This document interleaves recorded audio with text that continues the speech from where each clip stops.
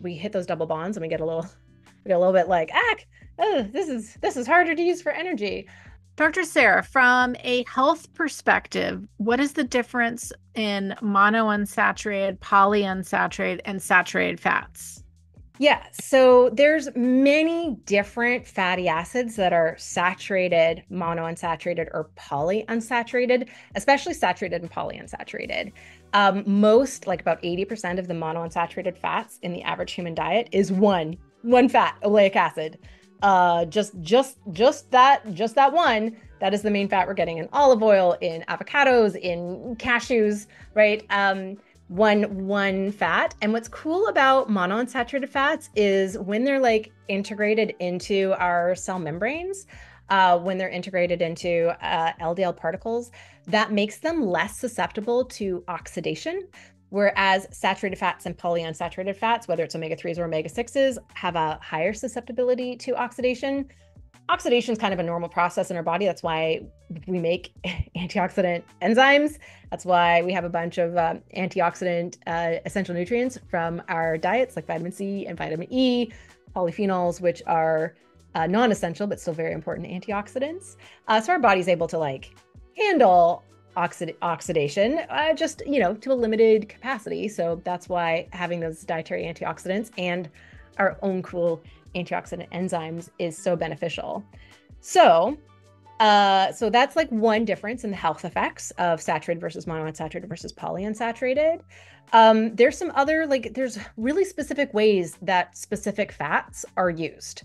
Um, so some are turned into like signaling molecules. So these are are chemicals that help to communicate between cells or um, like hormones are a type of like long distance signaling molecule. We've got like short distance versions of those. We've got a bunch of molecules that turn on or turn off different aspects of the immune system that are considered signaling molecules. Signaling molecules even happen inside a cell and they help like they make things happen so they can you know turn on inflammation or turn off inflammation they you know they can um like they can cause a variety they can cause like changes in how like LDL cholesterol is formed and metabolized, right? There, there's so many different chemical pathways that use specific fats.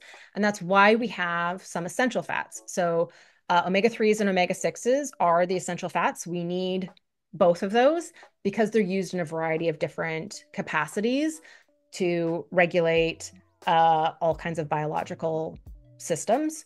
So, um, omega 3s and omega 6s are really important fats that are like turned into signaling molecules. Um, whereas um, saturated fats uh, are metabolized a little bit differently. Um, so you know they're still they're still all the fats are also used for energy. Saturated fats are still used for energy. Saturated fats are actually the easiest for us to break down and use for energy. So it's the easiest for us to just like break it apart and and use. Um, we hit those double bonds and we get a little we get a little bit like ah oh, this is this is harder to use for energy. Um, so all fats are used for energy.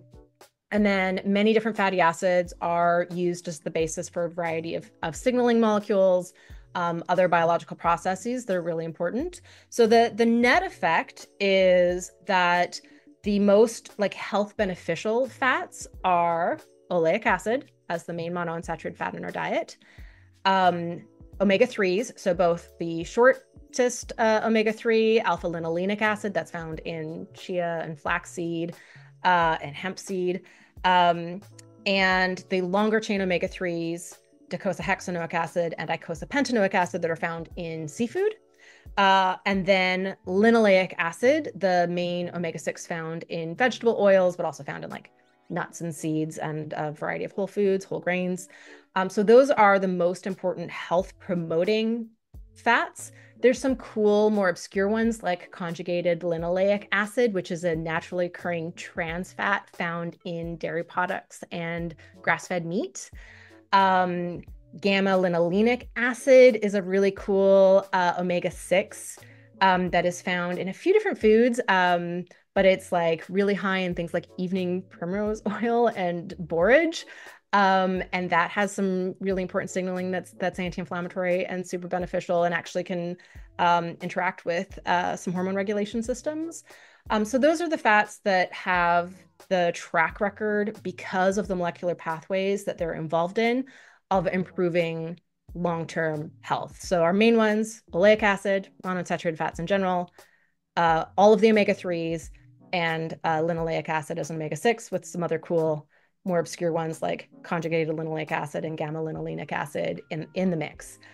Um, but that's, and then short chain fatty acids feel like a whole other category. Um, short chain fatty acids like butyrate, uh, acetic acid, and propionate, those are the three.